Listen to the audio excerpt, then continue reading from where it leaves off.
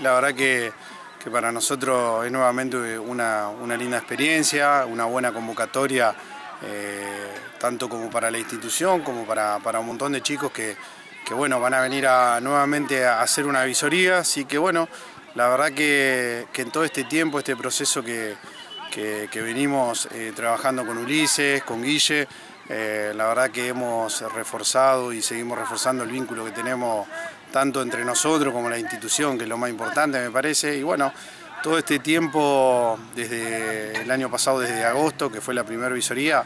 eh, hemos estado observando muchos chicos en toda la zona y, bueno, eh, pudimos concretar nuevamente eh, una fecha ya concreta que va a ser el, lunes 30 y martes 31 de mayo y bueno, la verdad que que, tenemos un número, más allá de que es una visoría selectiva, eh, es un número importante de aproximadamente entre 400 y 500 chicos que vamos a tener entre lunes y martes, eh, lo que modifica un poco que, bueno, que la visoría va a ser de,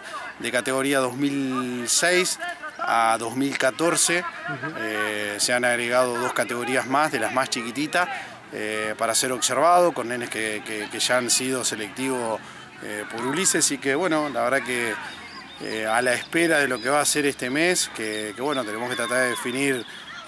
la parte final, que es la organización, horarios, pero la verdad que muy contento porque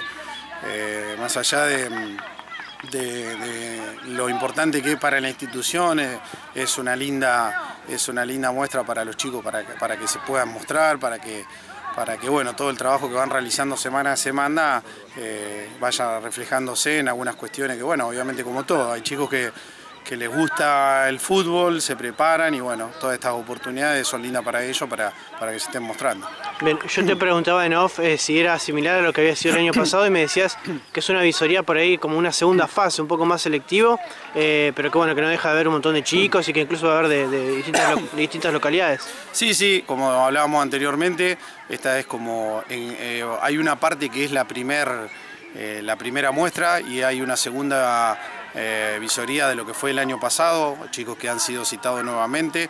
Eh, lo bueno mm, que, nosotros tenemos ya la experiencia el año pasado después de, la, de que han venido acá a San Carlos, eh, han ido algo de 10, 15 chicos a, Buenos Aires, han, están entrenados, han estado entrenando un par de semanas allá, han sido vistos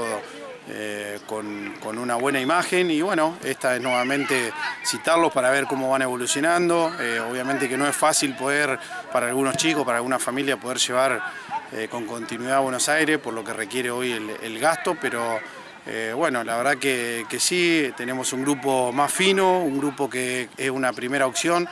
De, verlos y que la verdad que muy contento por el número que tenemos, que que vamos a estar rondando entre los 400, 500 chicos, que la verdad que es un número más que importante. Y, bueno, la verdad que muy contento porque eh, seguimos reforzando todo este vínculo con, la institución, que, es muy importante para, todo el desarrollo del trabajo que venimos haciendo. Bien, eh, justamente estamos hablando de Vélez, que si uno se pone a mirar un poco los clubes de la primera de fútbol argentino, Vélez es sin duda alguna uno de los referentes en cuanto a formación de juveniles y por eso es tan importante la visita y la confianza que, depositen ustedes. Sí, obviamente que bueno, uno ha tenido un pasado por la institución y, sabe del club, de la seriedad que, es Vélez y bueno, creo que,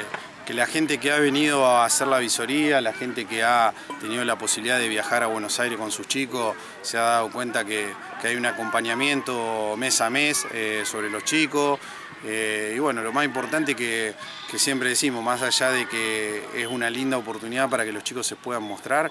eh, también eh, hay que tomarlo como una linda experiencia y, bueno, ir generando esos vínculos que, son tan importantes en el día a día,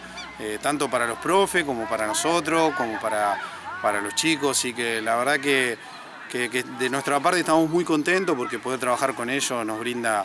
seguridad de, de un montón de cuestiones y bueno, obviamente que uno va va planificando, va pensando. En todo este tiempo hemos estado hablando con, con Guille y Ulises para ir eh, agregando cosas a todo este trabajo, así que bueno, estamos en ese camino. Bien, repetimos entonces, Gonza, esto va a ser a finales de mes y qué categorías. Sí, eh, el lunes 30 y martes 31 van a ser la fecha.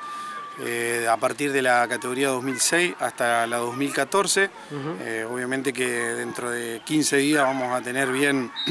la planificación de horarios, obviamente porque es, es muy, muy extensa la jornada. Y bueno, tenemos lo importante que también ellos puedan venir y hacer su estímulo de entrenamiento como lo hacen habitualmente en los clubes para que ellos puedan soltarse, poder sacarse esa ansiedad que a veces uno tiene cuando lo están observando, así que es importante poder brindarle ese espacio, ese tiempo para que ellos lo puedan hacer de buena manera, así que bueno, la verdad que, es una linda oportunidad, tanto para, como te decía anteriormente, para todos, y bueno, y seguir reforzando todo lo que venimos haciendo, que, la verdad que hemos tenido, eh, el año pasado hemos mandado a algunos profes a Buenos Aires también para, ver la metodología de cómo se trabaja, y la verdad que a nosotros eh, nos enorgullece poder tener, que nos brinden esa posibilidad y, bueno, seguir reforzando todo lo que estamos haciendo. Bien, está bueno eso que remarcás Gonza porque los nutre no solamente a ellos que vienen a, ver jugadores, sino también a ustedes. Entienden un poco más de la metodología de trabajo y, está muy bueno, muy bueno eso también para ustedes. Te quería preguntar Gonza, también hay muchos chicos de aquí de Central que han, ido a Buenos Aires, quizás el caso de Pablito Ábalos sea el más, más conocido. Sí, sí, eh, con respecto a lo primero que nos decís, eh, sí, nosotros el año pasado hemos tenido la posibilidad de, que el club nos brinde que, haya alguno que otro profe puedan viajar eh, para ver cómo, de la manera que se entrena, de cómo se planifica. Nosotros ya tenemos, eh, estamos encaminados en que a mitad de año seguramente vamos a mandar todo el staff de entrenadores para, para hacer